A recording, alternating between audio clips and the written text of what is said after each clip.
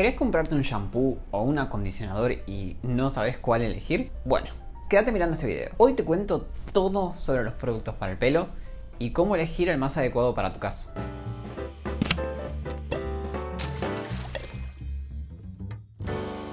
Hola a todos, bienvenidos a un nuevo video. En el video de hoy quiero contarles cómo elegir el correcto shampoo y el correcto acondicionador dependiendo de las características de su pelo y de su cuero cabelludo. Si la góndola de productos para la piel nos marea un poco, la de productos para el pelo puede terminar por volvernos locos. ¿A quién no le pasó de ir a comprar un shampoo, ver tantos productos y terminar por comprar el primero que encontró o el más barato? Bueno, para que eso no les pase, hoy les traigo una guía simple para entender los shampoos, los acondicionadores y las máscaras capilares. Es como para que puedan saber qué están comprando y por qué. Antes de hacer un listado de productos, tengo que explicarles algunas generalidades para tener en cuenta respecto del pelo, como para entender el porqué de lo que les voy a indicar. Espero que no me odien y que me sigan con esta explicación que les voy a dar a continuación. ¡Apágalo! Momento, momento. Para saber qué comprar, debemos entender lo básico, la estructura del pelo. La estructura del pelo está formada por tres capas. De adentro hacia afuera tenemos la médula, la corteza y la cutícula. Esta última es fundamental en el proceso de elegir productos para el pelo. La cutícula está formada por células que adquieren forma de escamas. Son queratinocitos solapados. Es más gruesa en asiáticos, luego en caucásicos y por último en afrodescendientes. Mientras más gruesa sea la cutícula, menor va a ser el riesgo de quiebre de la fibra capilar. Es por eso que es fundamental mantenerla en un buen estado. Entre las células de la cutícula hay una especie de cemento que mantiene las células unidas entre sí de manera compacta. Esta está formada por grasas, por proteínas, por lípidos. Estos unen a las células entre sí. Este cemento es muy sensible a tratamientos químicos como por ejemplo el de colorado, los alisados, etc. El sol la fricción, el uso de planchitas o el secador también lo pueden dañar. Cuando estas células se encuentran correctamente distribuidas, rodeadas por este cemento que las mantiene unidas entre sí, es que tenemos una cutícula sana y fuerte. Una cutícula sana y fuerte representa un pelo brillante, fácil de peinar, con menor riesgo de quebrarse y que repele al agua, es hidrofóbico. Malos hábitos, como los que les mencioné recién, alteran a ese cemento. La cutícula se rompe y el pelo se torna frágil. Una cutícula dañada permite el ingreso de agua dentro del pelo, debilitándolo y aumentando las chances de que éste se quiebre. El uso correcto de cosméticos para el pelo nos va a permitir justamente reparar esa cutícula dañada, disminuir la fricción entre los diferentes tallos pilosos y disminuir la absorción de agua dentro del pelo. Es decir, nos van a permitir mantener el pelo sano y fuerte. Es importante saber qué productos vamos a comprar, justamente para que esto se logre. Eso es mucho, muy importante. Hablemos ahora de los shampoo. Shampoo, shampoos, ustedes me entienden. La principal función del shampoo es limpiar. Por eso su componente estrella son los tensioactivos o surfactantes. Son moléculas limpiadoras necesarias en el proceso de lavado. Los shampoos están compuestos por básicamente cuatro componentes. Primero, los limpiadores, que son los tensioactivos o surfactantes. Luego tenemos ingredientes que contribuyen a la estabilidad del producto, a su conservación, a su cosmética. Luego tenemos agentes acondicionadores que dan suavidad y brillo al pelo. Y por último tenemos ingredientes especiales si son realmente necesarios, como por ejemplo en el caso de algunos shampoos especiales para pelo graso, para pelos con caspa, etc. Hablemos entonces de los tan temidos surfactantes. Los surfactantes son limpiadores que actúan removiendo el sebo y la suciedad del cuero cabelludo. Porque sí, el shampoo se usa en el cuero cabelludo, no en el largo del pelo nada de hacer espuma por todo el pelo como si este fuera nuestro último día para lavarnos la cabeza. El shampoo tiene como objetivo ser utilizado sobre la piel de nuestra cabeza. ¿Por qué nadie me lo dijo? ¡Ay, debo haber parecido un idiota! Los surfactantes con potencia limpiadora tendrán mayor efectividad para remover grasa y suciedad, pero también tienen mayor capacidad de generar irritación. ¿Es esto malo? ¿No es esto lo que todos nos preguntamos en la vida? No, en lo absoluto. Algunos cueros cabelludos requieren de limpiadores fuertes para remover el sebo. Hay que tener en cuenta que el sebo no se remueve con agua, no se disuelve. Si a una persona con el cuero cabelludo muy oleoso le damos un shampoo con limpiadores suaves, no va a lograr tener su pelo limpio. Para entender un poco más cómo es que funcionan los surfactantes, Vamos a ver este gráfico. Los surfactantes tienen dos porciones. Una que interactúa muy bien con el agua y otra que interactúa muy bien con las grasas. La parte que se une a las grasas permite que éstas sean removidas al utilizar el shampoo. La cabeza de estas moléculas limpiadoras es polar y puede tener diferentes cargas eléctricas. Dependiendo de la carga eléctrica que tenga, es que se pueden diferenciar a los surfactantes en diferentes grupos. Tenemos primero a los famosos surfactantes aniónicos. Son los principales limpiadores. Son los surfactantes que tienen mayor poder de limpieza. Como les dije antes, mayor poder de limpieza, mayor riesgo de resecar el pelo. Aportan cargas negativas al pelo, favoreciendo que aparezca frizz. Cuando escuchamos o leemos shampoo sin sulfatos, se hace referencia a que el shampoo no tiene surfactantes de este tipo, surfactantes fuertes. Los shampoos sin sulfatos hacen referencia justamente a shampoos sin surfactantes aniónicos. Dentro de este grupo tenemos algunos que son más fuertes y otros que son más suaves. Luego tenemos el grupo de los surfactantes no aniónicos, donde encontramos catiónicos, anfotéricos o no iónicos. Estos no aportan cargas negativas al pelo y no contribuyen a que se reseque el cuero cabelludo y se genere frizz, pero limpian menos. Al tener menor capacidad limpiadora, puede ser que con el tiempo de utilizar este tipo de shampoos se acumule suciedad y productos sobre el pelo y sobre el cuero cabelludo que no han podido ser removidas por el simple hecho de que los tensioactivos no son muy fuertes. La verdad es que en la práctica existen un montón de shampoos que combinan ambos tipos de surfactantes y hacen mucho más amigable a la fórmula del producto, lo cual resulta atractivo para personas con un cuero cabelludo que no requiere una limpieza tan agresiva o tan profunda, o personas que tengan rulos o que tengan un cuero cabelludo a lo mejor un poco más sensible. Ya se van dando una idea de por dónde viene la mano a la hora de elegir un shampoo, ¿no? Ay, creo que le habla a usted. bueno, bueno, sí. ¿Cómo saber qué shampoo elegir? Vamos a la parte importante del video. He esperado 25 largos años este momento. La elección va a depender del tipo de cuero cabelludo que tengamos y de la profundidad de la limpieza que estemos buscando. Si tengo, por ejemplo, un cuero cabelludo graso, con caspa, para el que quiero un poder limpiador intenso, voy a necesitar un shampoo con surfactantes aniónicos, es decir, moléculas limpiadoras Si quiero un shampoo no tan agresivo, pero que limpie bien, voy a necesitar un shampoo que tenga un surfactante aniónico fuerte, combinado a lo mejor con otros surfactantes no aniónicos para hacer un poco más gentil la fórmula. Si busco un shampoo suave, que no irrite, que no sea demasiado agresivo, pero con un buen poder de limpieza, voy a buscar un shampoo que tenga surfactantes aniónicos pero suaves. Si por ejemplo tengo un cuero cabelludo seco, que no se engrasa y quiero un shampoo con surfactantes que no sean agresivos, voy a necesitar un shampoo con surfactantes no aniónicos. Independientemente del tipo de surfactante que tenga el shampoo, es muy importante que analicemos el producto en su totalidad. Es decir, evaluar toda la fórmula del shampoo. No dejarse llevar simplemente por el activo limpiador que contenga sino que evaluarlo como un todo. Como les dije antes, al principio, un shampoo es más que su molécula limpiadora. La combinación de ingredientes hace al producto final, no solo su surfactante más abundante. ¿A qué voy con esto? A que la mayoría de los shampoos modernos tienen, además de surfactantes, aceites, acondicionadores y demás ingredientes que ayudan a contrarrestar ese estado salvaje en el que dejan los surfactantes al pelo.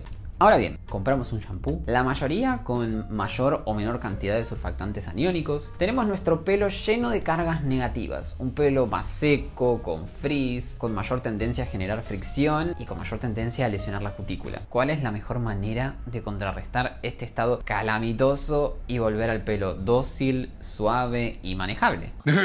creo que la entiendo. Estamos hablando de comida, ¿verdad?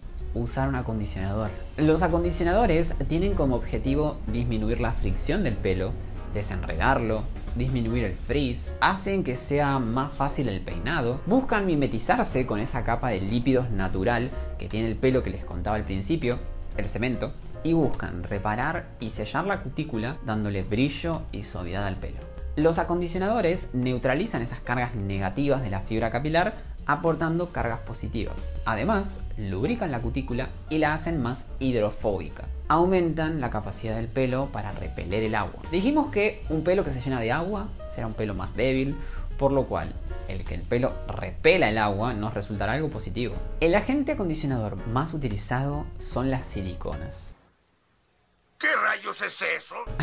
sí, yo sé, yo sé. Yo sé que muchas personas tiemblan cuando escuchan siliconas y pelo en una misma oración. Pero créanme, las siliconas de por sí no son malas. Hay que conocerlas y saber cuál usar. Las siliconas son polímeros resistentes al calor derivados del cristal de cuarzo. Existen diferentes tipos de siliconas con diferente adherencia y con diferente capacidad para ser removidas con agua. Algunas protegen al pelo de agresiones, otras aumentan el grosor del pelo, otras ayudan a sellar la cutícula, previniendo el daño a la fibra capilar, otras aportan brillo. Por lo general son temidas por las personas que tienen rulos porque algunas siliconas pueden quedarse adheridas al pelo, generar peso y hacer que los rulos se desarmen. Dependiendo de sus características hay tres grupos de siliconas. Tenemos las solubles en agua, que se remueven fácilmente del pelo con agua. Tenemos luego las volátiles, que se evaporan del pelo a lo largo del tiempo más o menos de 10 minutos, algunas horas. No dejan productos sobre el pelo. Y luego tenemos las que no son solubles y no son volátiles. Son siliconas pesadas. No se remueven con el agua ni se evaporan, sino que forman una especie de film sobre el pelo. Y estas son las que tienden a acumularse en el pelo, generar peso y desarmar los rulos. Hay que elegir las siliconas adecuadas para el tipo de pelo de cada uno. Pero no demonicemos a las siliconas. Thank you. Quiero hacer ahora una pequeña mención respecto a los aceites en acondicionadores o serums. Los aceites protegen al pelo del daño, algunos penetran y reducen la cantidad de agua absorbida por el pelo, disminuyendo así la hinchazón y el daño capilar. Los aceites pueden rellenar los espacios entre las células de la cutícula, evitando la penetrancia de irritantes y la penetrancia de agua. También pueden aumentar la lubricación del pelo, previniendo así la fricción y posterior ruptura del mismo. Es por eso que solemos encontrar estos aceites en acondicionadores y serums. Ayudan a contrarrestar el estado caótico que produjo el shampoo y a reparar las fibras dañadas. Vayan a fijarse, seguramente su acondicionador tiene un montón de aceites y no lo sabían. Dijimos que al shampoo lo elegimos según el tipo de cuero cabelludo que tenemos y según la profundidad de la limpieza que querramos. Al acondicionador, ¿cómo lo elegimos? ¿Me están siguiendo hasta acá? ¡Quiero vivir, March! ¡Déjame vivir, March! ¡Déjame, por favor! Lo elegimos según el grado de daño que tenga la fibra capilar y su necesidad de reparación.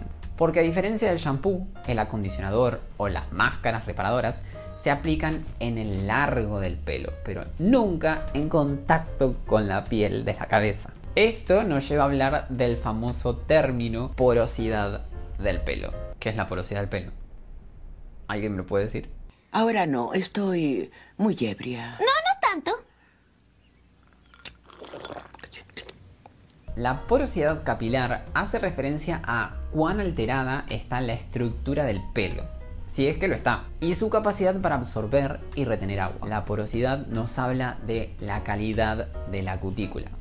¿Cuál es el problema con que nuestro pelo esté poroso y deje entrar agua? Un pelo poroso es un pelo al que le entra agua, un pelo que retiene agua y es un pelo que se debilita. El agua hincha la fibra capilar y la deja más susceptible a que ésta se quiebre. Es por eso que se hace tanto hincapié en mantener saludable e indemne a la cutícula. Por lo tanto, tener un pelo poroso es un indicador de daño en la fibra capilar, más específicamente en la cutícula. Cutícula porosa, pelo que retendrá más agua y que tendrá más propensión a romperse, a ser opaco y a sentirse seco.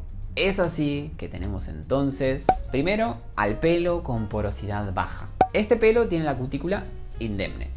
No permite que penetre agua y por ende el pelo no se debilita. Requiere productos ligeros, no requiere que hagamos hincapié en reparar la cutícula porque no está rota. Para este tipo de pelo hay que buscar acondicionadores y máscaras que tengan ingredientes tales como el pantenol, la glicerina, derivados del azúcar, extractos botánicos, vitamina E, aloe vera, etc.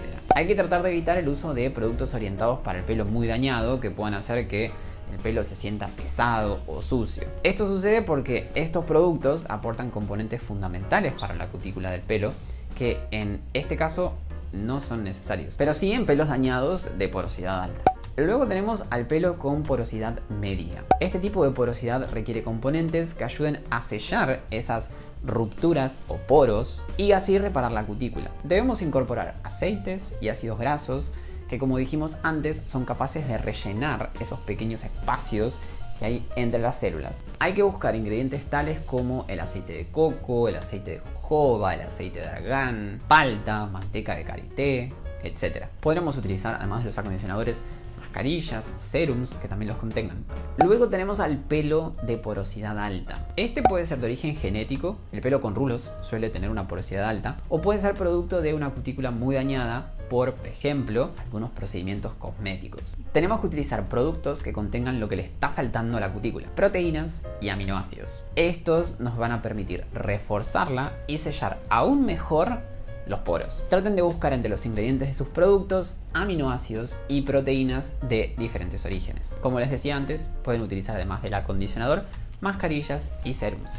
Si llegaron hasta acá, ya se habrán hecho una idea de qué producto deben comprar la próxima vez que vayan a la farmacia, ¿no?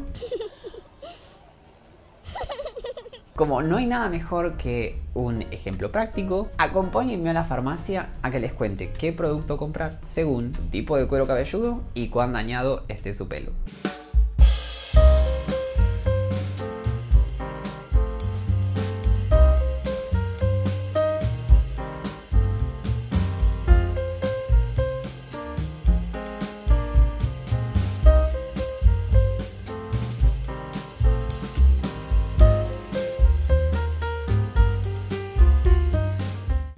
Antes, la selección del shampoo dependerá de las características del cuero cabelludo. Recuerden que el objetivo del shampoo es limpiar el cuero cabelludo. El acondicionador va a depender de las características de la fibra capilar. Si quieren reparar, disminuir el frizz, dar brillo al pelo, lo que necesitan es un acondicionador. Algunos shampoos tendrán formulaciones más acordes a estas necesidades, pero recuerden que lo que necesitan es un acondicionador o una máscara nutritiva. Pasemos a lo que todos estaban esperando, Ejemplos, ejemplos de productos. Los ejemplos que voy a mostrar a continuación están sujetos a las opciones que encontré en la farmacia a la hora de filmar el video. Yo en este caso fui a PharmaPlus.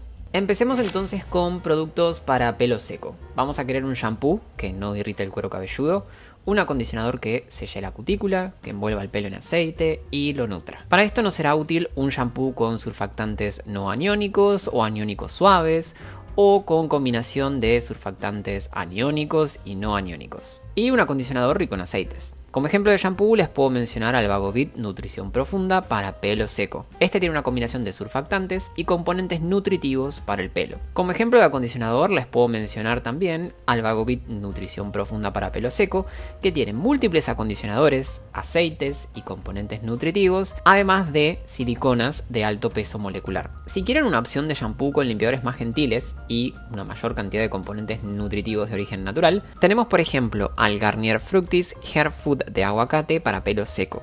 Este tiene una combinación de diferentes surfactantes, entre ellos un surfactante fuerte. Tienen también múltiples aceites y componentes nutritivos de origen natural. Como ejemplo de acondicionador tenemos al Garnier Fructis Recarga Nutritiva Oil Repair 3, que es para pelo seco, tieso y opaco. Este tiene múltiples acondicionadores, aceites y suma además proteínas, que dijimos que son increíbles para sellar las porosidades de la cutícula del pelo. De la marca Elviv les puedo mencionar como una buena opción de acondicionador al Elviv óleo extraordinario para pelo seco, que combina múltiples aceites, lo cual es excelente para sellar cutículas y protegerlas. Personas con pelo graso, por favor, abstenerse probablemente sientan que les queda el pelo súper pesado. Otro ejemplo de shampoo para pelo seco es el Chlorane Shampoo con mango, que tiene una combinación de surfactantes aniónicos suaves con no aniónicos. También tiene aceites y componentes nutritivos de origen natural. Esta línea también cuenta con su acondicionador. Pasemos ahora a productos para pelo graso. Sabemos que en este caso necesitamos un shampoo que limpie bien, que remueva el sebo y que evite la acumulación de productos en la fibra capilar. Necesitamos un acondicionador que repare el daño que pueda haber en la fibra capilar y que contrarreste el uso de limpiadores fuertes. Si usaron alguna vez un shampoo para pelo graso, seguramente saben que el pelo puede quedar como un alambre si no usamos luego un acondicionador adecuado. Buscamos entonces un shampoo con surfactantes aniónicos, es decir, limpiadores fuertes, o una combinación de aniónicos y no aniónicos en caso de que tengamos un cuero cabelludo a lo mejor un poco más sensible. También buscamos un acondicionador adecuado a la porosidad del pelo, más que nunca el uso de acondicionador es fundamental. Recuerden de aplicarlo solo en el largo. Un ejemplo de shampoo para cuero cabelludo graso es el Head Shoulders Control Grasa. Combina múltiples surfactantes con piritionato de zinc, un activo muy utilizado en el tratamiento de la dermatitis seborreica y la caspa, siliconas y algunos acondicionadores para no dejar el pelo tan imposible de manejar. Otra opción es el shampoo Capilatis para pelo mixto, raíces grasas y puntas secas. Recuerden que para tratar la resequedad que puedan tener las puntas, la clave está en el acondicionador que usen, no en el shampoo. El shampoo se aplica en el cuero cabelludo. Pasemos a opciones ahora para pelo dañado. Necesitamos un shampoo que limpie según las necesidades de nuestro cuero cabelludo y la clave va a estar en el acondicionador que utilicemos. El acondicionador es el producto clave para reparar profundamente la cutícula dañada. Buscaremos así un shampoo con surfactantes aniónicos o combinación de surfactantes, dependiendo de la necesidad de nuestro cuero cabelludo y un acondicionador o mascarilla para pelo de alta porosidad, que aporten proteínas, aminoácidos, aceites. La clave para este tipo de pelo está en el acondicionador. No me canso de repetirlo. Como opción de shampoo que les puedo mencionar está, por ejemplo, el Elviv Reparación Total 5 para pelo dañado, que combina diferentes surfactantes, siliconas de alto peso molecular. Como opción de acondicionador tenemos también el Elviv Reparación Total 5 para pelo dañado, tenemos la opción de acondicionador y mascarilla. Aportan siliconas, aminoácidos, que como dijimos estos últimos son claves para reparar la cutícula. Luego tenemos al Herbal Essences, acondicionador para pelo dañado, que aporta diferentes acondicionadores, aceites, extractos naturales y siliconas. También tenemos una opción de DAV, que es el reconstrucción completa para pelo dañado, el acondicionador aporta siliconas y queratina. Cuidado por favor los pelos grasos. Todos estos productos pueden llevar a la acumulación de productos sobre el pelo que pueden hacer que este se torne pesado u opaco. Respecto a las personas con un pelo normal, necesitamos un shampoo que limpie bien y un acondicionador que mantenga el buen estado de la cutícula. Podría ser útil un shampoo con combinación de surfactantes y un acondicionador que se adecue a la porosidad del pelo. Los productos que mencioné de Garnier, por ejemplo, son una opción buenísima para estos casos. Para pelo con rulos, necesitamos un shampoo que no reseque el cuero cabelludo y un acondicionador que selle la cutícula, pero que no dé peso y desarme el rulo. Eso es clave. Buscamos entonces un shampoo con surfactantes no aniónicos y un acondicionador para pelo de porosidad media a elevada libre de siliconas pesadas para que justamente el rulo no se desarme. Si bien las personas con rulos suelen tener un cuero cabelludo seco, en caso de tener un cuero cabelludo graso, es importante complementar periódicamente con un shampoo que tenga surfactantes aniónicos para evitar la acumulación de residuos y de sebo. Puedo mencionar como ejemplo de productos para estos casos a los productos de Garnier, que vimos hace un ratito, y también al acondicionador de Elviv, Elviv óleo extraordinario para pelo rizado. Este aporta aceites y acondicionadores y no tiene siliconas. En caso de tener pelo lacio, necesitamos un shampoo que no aporte demasiadas cargas negativas para no aumentar el frizz. La potencia del surfactante, como siempre les digo, va a depender de la necesidad de limpieza que tenga el cuero cabelludo. Necesitamos un acondicionador que se adapte a las necesidades de la cutícula y ayude a sellarla con siliconas que no sean solubles en agua para dar peso y para mantener el lacio del pelo. Ojo, porque con estos productos, con el correr de los días, se puede producir opacidad por la acumulación de producto. Les puedo mencionar, por ejemplo, el shampoo Elviv Keraliso MQ, que tiene una combinación de surfactantes, aceites que colaboran con la salud de la cutícula y aminoácidos. Tenemos el acondicionador Elviv Keraliso MK, que aporta aceites y aminoácidos. Tenemos el shampoo Capilatis Hair Therapy Shampoo con queratina vegetal, que tiene limpiadores suaves, siliconas aceites, proteínas y aminoácidos para fortalecer la cutícula. Luego tenemos el acondicionador también de Capilatis Hair Therapy con queratina vegetal que aporta aceites, aminoácidos y proteínas. Si tenemos un pelo opaco o sin brillo, necesitamos un shampoo que se adapte a las necesidades del cuero cabelludo. Si la opacidad es producto de la acumulación de productos o de suciedad, un shampoo con limpiadores aniónicos fuertes que eviten la acumulación de productos nos va a ser súper útil. Vamos a necesitar un acondicionador que se adapte a las necesidades de la cutícula con siliconas y aceites que aporten brillo al pelo. Les puedo mencionar por ejemplo al shampoo Vagovit Brillo Sublime para pelo opaco, que tiene una combinación de surfactantes con siliconas y componentes nutritivos de origen natural. Y luego tenemos también al acondicionador de la misma línea, que tiene siliconas, aceites y componentes nutritivos de origen natural. Hay que hacer una mención especial sobre los shampoos sólidos. Existen dos categorías, los que tienen surfactantes, es decir, moléculas limpiadoras, y los que no. Se recomienda el uso de los primeros por ser verdaderos shampoos. Acá les muestro una opción de shampoo sólido que es muy buena, es el shampoo de la marca Deca, que posee un tensioactivo suave, apto para todo tipo de cuero cabelludo. Se puede utilizar todos los días sin miedo de que el cuero cabelludo se reseque o se irrite. Cueros cabelludos muy oleosos probablemente necesiten tensioactivos con mayor poder de limpieza, por lo que alternar este shampoo con otro shampoo específico para pelo graso podría ser útil. Si quieren un video especial sobre shampoos sólidos, háganmelo saber acá abajo en los comentarios. Ahora bien, cuéntenme ustedes, ¿les resultó útil esta guía práctica? ¿Qué tipo de productos usan en su pelo? Los leo acá abajo en los comentarios. Si les gustó este video, por favor denle un like y compártanlo. No se olviden de suscribirse al canal y activar la campanita de notificaciones para que YouTube les avise cada vez que subo un video nuevo. Y no se olviden de seguirme en Instagram. Me pueden encontrar allá como arroba simon.scarano. Y yo los veo en el próximo video.